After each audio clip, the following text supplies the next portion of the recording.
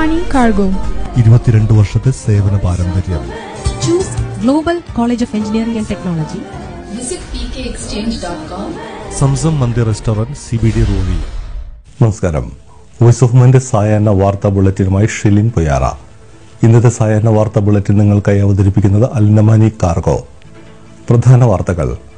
മാളുകളിലെത്തുന്നവർ മാന്യമായ വസ്ത്രധാരണം നടത്തണമെന്ന് അധികൃതർ. നിർമ്മാണ സ്ഥലങ്ങളിൽ തൊഴിലാളികളുടെ താമസ സ്ഥലങ്ങളിൽ സുരക്ഷ ഉറപ്പുവരുത്തണം. ഒമാനിൽ അഞ്ഞൂറ്റൻപത്തിയേഴ് പേർക്ക് കൂടി കോവിഡ് പത്തൊമ്പത്. പതിമൂന്ന് മരണങ്ങൾ കൂടി സ്ഥിരീകരിച്ചു. ഖുറിയാത്തിൽ താമസ സ്ഥലത്ത് അനധികൃത തയ്യൽ കേന്ദ്രം കണ്ടെത്തി. ഒമാനിൽ നഴ്സായി ജോലി ചെയ്യവെ കോവിഡ് ബാധിച്ച് മരണപ്പെട്ട സിസ്റ്റർ ബ്ലെസ്സിയുടെ മൃതദേഹം ഇന്ന് വൈകിട്ട് കോറം പി ഡി എസ് സെമിത്തേരിയിൽ അടക്കം ചെയ്യും. വാർത്തകൾ വിശദമായി. മാളുകളിലെത്തുന്നവർ മാന്യമായ വസ്ത്രധാരണം നടത്തണമെന്ന നിർദ്ദേശവുമായി മസ്കറ്റ് നഗരസഭ. പബ്ലിക് അഫയേഴ്സ് കമ്മിറ്റിയാണ് വിഷയം ചർച്ച ചെയ്തത്. മാളുകളിലെ സന്ദർശകരിൽ ഇത് സംബന്ധിച്ച് ബോധവൽക്കരണം നടത്തുന്നതിനും യോഗത്തിൽ പരിഗണിച്ചു.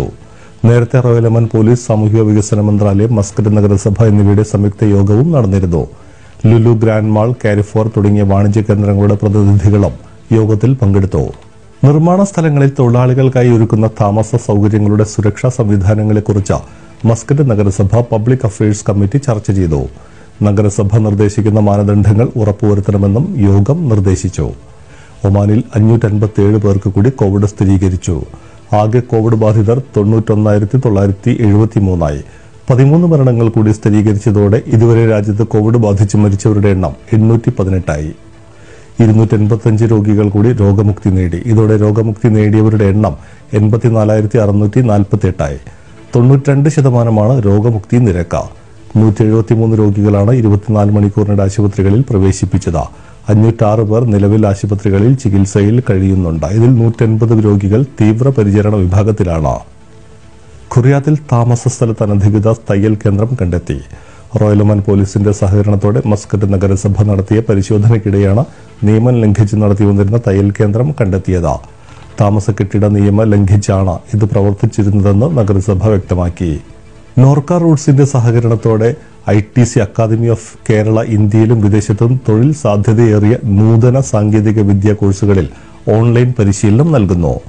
Robotic processing automation full stock developer data science and analyst cyber security digital marketing എന്നീ കോഴ്സുകളിലേക്കാണ് പരിശീലനം നൽകി വരുന്നത്. പ്രവേശന പരീക്ഷയുടെ അടിസ്ഥാനത്തിൽ ഈ കോഴ്സുകൾക്ക് കോഴ്സ് ഫീസിന്റെ എഴുപത്തിയഞ്ച് ശതമാനം സ്കോളർഷിപ്പ് നോർക്ക റൂട്ട്സ് വഴി ലഭ്യമാക്കും.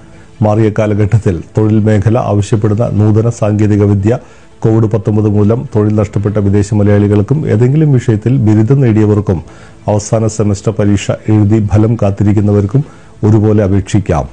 ഒക്ടോബർ അഞ്ചിന് മുൻപാണ് അപേക്ഷ സമർപ്പിക്കേണ്ടത്. കൂടുതൽ വിവരങ്ങൾക്ക് eight zero seven eight one zero two one one nine. ഒമാനിൽ നഴ്സായി ജോലി ചെയ്യവെ കോവിഡ് ബാധിച്ച് മരണപ്പെട്ട സിസ്റ്റർ ബ്ലെസ്സി സാമിന്റെ മൃതദേഹം ഇന്ന് വൈകിട്ട് മൂന്ന് മണിക്ക് ഖോറം പി ഡി ഒ സെമിത്തേരിയിൽ നടക്കും. ഒമാനിലെ ആരോഗ്യരംഗത്ത് കോവിഡ് പ്രതിരോധ രംഗത്ത് നിന്നും ആദ്യമായാണ് ഒരു മരണം റിപ്പോർട്ട് ചെയ്തത്. നിരവധി ആളുകൾ സാമൂഹ്യ മാധ്യമങ്ങൾ വഴിയും അല്ലാതെയും അനുശോചനം രേഖപ്പെടുത്തിയിരുന്നു. ഇന്നത്തെ ലോക രോഗി സുരക്ഷാ ദിനത്തിന്റെ ഭാഗമായി ആരോഗ്യ മന്ത്രാലയം ആരോഗ്യ പ്രവർത്തകരുടെ സുരക്ഷയെക്കുറിച്ചും അത് രോഗികളുടെ ക്ഷേമത്തെ എങ്ങനെ ബാധിക്കുന്നു എന്നതിനെക്കുറിച്ചും ആരോഗ്യ മന്ത്രാലയം ബോധവൽക്കരണ പരിപാടികൾ ആരംഭിച്ചു. സുരക്ഷിത ആരോഗ്യ പ്രവർത്തകർ സുരക്ഷിത രോഗികൾ എന്ന മുദ്രാവാക്യത്തിൽ ലോകമെമ്പാടുമുള്ള വിവിധ രാജ്യങ്ങളുടെ പങ്കാളിത്തത്തോടെയാണ് പരിപാടി സംഘടിപ്പിച്ചിരിക്കുന്നത്. ആഗോളതലത്തിൽ അവബോധം വളർത്തുക ആരോഗ്യ പ്രവർത്തകരുടെ സുരക്ഷയുടെ പ്രാധാന്യം രോഗികളുടെ സുരക്ഷയുമായുള്ള ബന്ധം ആരോഗ്യ പ്രവർത്തകരുടെ സുരക്ഷ മെച്ചപ്പെടുത്തുന്നതിന് മൾട്ടി മോഡൽ തന്ത്രങ്ങൾ സ്വീകരിക്കുക എന്നിവയാണ് ഇന്നത്തെ ലോക രോഗി സുരക്ഷാ ദിനം ലക്ഷ്യമിടുന്നത്. കൺസ്ട്രക്ഷൻ മേഖലയിലേക്ക് പുതുപുത്തൻ എഞ്ചിനീയറിംഗ് സൊല്യൂഷനുമായി ബെറ്റർ വേൾഡ് സൊല്യൂഷൻസ് ഒമാനിൽ പ്രവർത്തനം ആരംഭിച്ചു.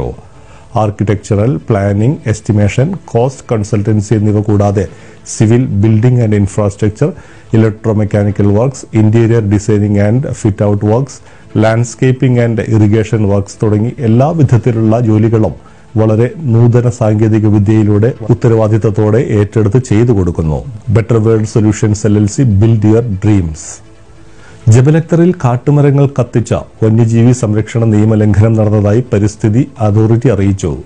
ആവർത്തിച്ചുള്ള കേസുകളുടെയും അടിസ്ഥാനത്തിൽ ജബലക്തർ പരിസ്ഥിതി അതോറിറ്റി ചെയർമാനും ബന്ധപ്പെട്ട വിദഗ്ധരും ഈ ദുരുപയോഗങ്ങളെക്കുറിച്ച് നേരിട്ടറിയാൻ ഇന്ന് ജബലക്തർ സന്ദർശിച്ചു. ഒമാനി പരിസ്ഥിതിയിലെ അപൂർവവും പ്രധാനപ്പെട്ടതുമായ സസ്യങ്ങളെ ഭീഷണിയിലാക്കുന്ന ആവർത്തിച്ചുള്ള ഇത്തരം പ്രവർത്തനങ്ങൾ തടയുന്നതിന് അടിയന്തരമായി പ്രതിരോധവും നിയമനിർമ്മാണ നടപടികളും സ്വീകരിക്കുന്നതിനും പ്രശ്നം പരിഹരിക്കുന്നതിനുമായ ഉചിതമായ പരിഹാരങ്ങൾ കണ്ടെത്തുന്നതിനുള്ള പ്രവർത്തനങ്ങൾ ത്വരിതപ്പെടുത്താനും വിശിഷ്ടാതിഥികൾ നിർദ്ദേശിച്ചു. ഒമാനി അല്ലാത്തവർക്ക് നിരോധിത മേഖലയിൽ റിയൽ എസ്റ്റേറ്റ് പാട്ടത്തിന് നൽകണമെന്ന് ഭവന നഗര ആസൂത്രണ മന്ത്രാലയം നിർദ്ദേശം നൽകി. ഉപരോധ സ്ഥലങ്ങളിൽ ഭൂമിയുടെയും റിയൽ എസ്റ്റേറ്റിന്റെയും ഒമാനിയല്ലാത്ത ഉടമസ്ഥ അവകാശം നിരോധിക്കുന്ന നിയമം സജീവമാക്കുന്നതിനുള്ള സംഘടനാ നടപടികൾ ഈ വർഷം നവംബർ പത്തൊമ്പത് മുതൽ പ്രാബല്യത്തിൽ വരും. വർദ്ധിച്ചു വരുന്ന എ ടി എം തട്ടിപ്പുകൾക്ക് തടയിടാൻ ഇന്ത്യയിൽ നാളെ മുതൽ S B I A T എമ്മിൽ നിന്നും പതിനായിരം രൂപയോ അതിനു മുകളിലോ എപ്പോൾ പിൻവലിച്ചാലും മൊബൈലിൽ വരുന്ന ഒ ടി പി നമ്പർ കൂടെ നൽകേണ്ടതാണ്. അതിനാൽ ഇനി മുതൽ എ ടി എമ്മിൽ പോകുമ്പോൾ മൊബൈൽ കയ്യിൽ കരുതണം. മൊബൈൽ ഫോൺ അക്കൗണ്ട് നമ്പറിൽ രജിസ്റ്റർ ചെയ്തിട്ടില്ലെങ്കിൽ എസ് ബി ഐ ശാഖകളുമായി ബന്ധപ്പെട്ട് ഉടൻ രജിസ്റ്റർ ചെയ്യുകയും വേണം. ഈ വർഷത്തെ കേരള രാജ്യാന്തര ചലച്ചിത്രമേള രണ്ടായിരത്തി ഇരുപത്തൊന്ന് ഫെബ്രുവരിയിൽ നടത്താൻ തീരുമാനമായി. എല്ലാ വർഷവും ഡിസംബർ മാസത്തിൽ നടത്താറുള്ള ചലച്ചിത്രമേള ഫെബ്രുവരി പന്ത്രണ്ട് മുതൽ പത്തൊമ്പത് വരെയുള്ള തീയതിയിലേക്കാണ് മാറ്റാൻ തീരുമാനിച്ചിരിക്കുന്നത്. കോവിഡ് കുട്ടികളിൽ ലക്ഷണങ്ങൾ എന്തെല്ലാം? ചികിത്സ എങ്ങനെ? എന്നീ വിവരങ്ങളാണ് ഇനി പങ്കുവയ്ക്കുന്നത്. കുട്ടികളിൽ വൈറസ് ശരീരത്തിൽ പ്രവേശിച്ച രണ്ട് മുതൽ പതിനാല് ദിവസത്തിനുള്ളിൽ ലക്ഷണങ്ങൾ ആരംഭിക്കാം. മുതിർന്നവരെ അപേക്ഷിച്ച് കുട്ടികളിൽ രോഗതീവ്രത കുറവാണ്. അതീവ ഗുരുതരാവസ്ഥയും വിരളമാണ്. പനി ചുമ തൊണ്ടവേദന വയറിളക്കം തലവേദന ശരീരവേദന തളർച്ച എന്നിവയാണ് സാധാരണയായി കാണുന്ന ലക്ഷണങ്ങൾ. അപൂർവമായി മണം രുചി എന്നിവ തിരിച്ചറിയാൻ ബുദ്ധിമുട്ടും കാണാറുണ്ട്. രോഗത്തെക്കുറിച്ചുള്ള ശാസ്ത്രീയമായ അറിവ് മാതാപിതാക്കളും അധ്യാപകരും കുട്ടികൾക്ക് പകർന്നു നൽകണം. എന്നാൽ ഇത് കുട്ടികളെ ഭയപ്പെടുത്തുന്ന രീതിയിലാകരുത്. സോഷ്യൽ മീഡിയയിൽ വരുന്ന സന്ദേശങ്ങളിൽ അശാസ്ത്രീയമായ കാര്യങ്ങളും തെറ്റിദ്ധാരണകളും ഉണ്ടെങ്കിൽ അതിന്റെ സത്യാവസ്ഥ അവർക്ക് പറഞ്ഞു മനസ്സിലാക്കണം. രോഗലക്ഷണങ്ങൾ കണ്ടാൽ ആരോഗ്യ പ്രവർത്തകരുമായി നിർദ്ദേശിക്കപ്പെട്ടിട്ടുള്ള ഫോൺ നമ്പറിൽ ബന്ധപ്പെടണം.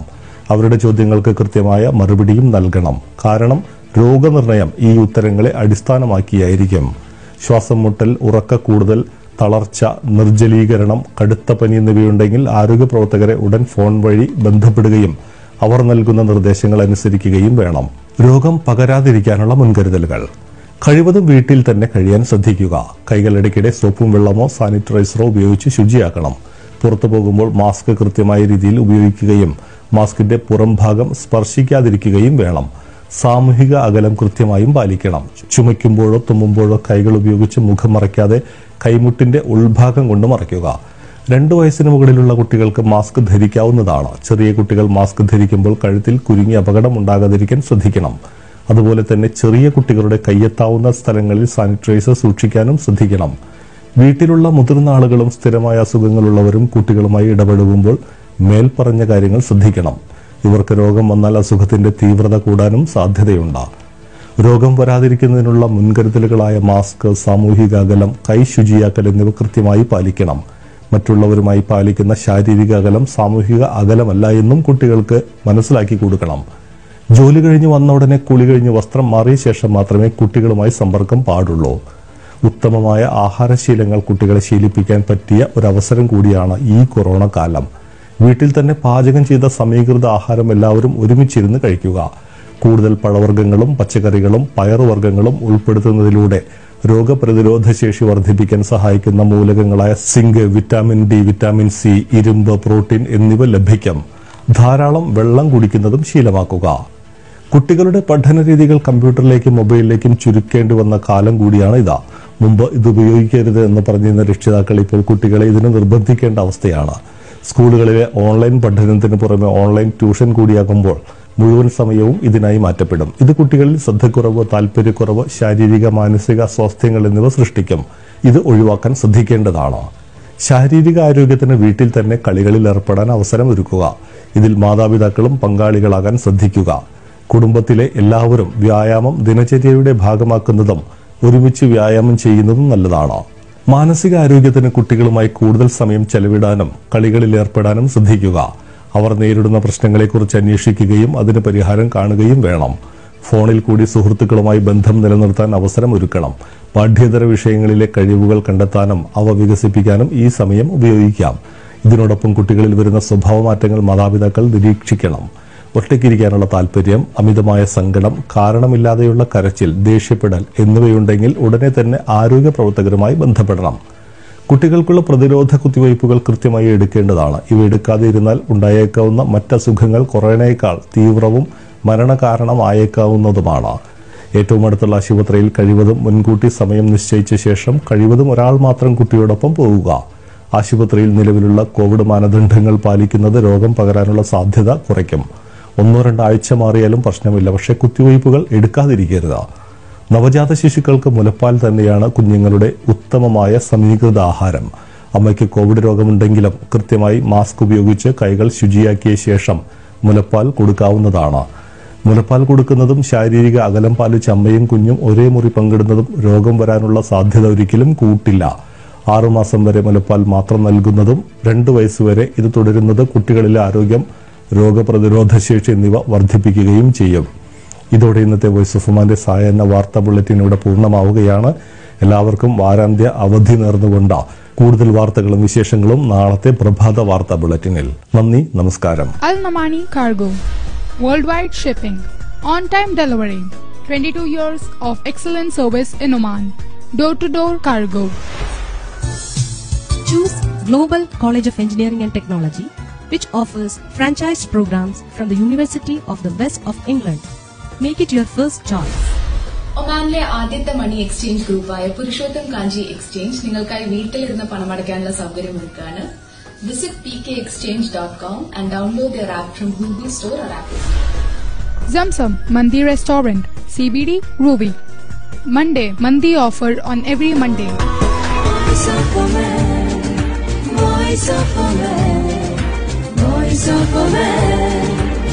സായാഹ്ന വാർത്തകൾ നിങ്ങൾക്കായി സമർപ്പിച്ചത് Al Namani Cargo.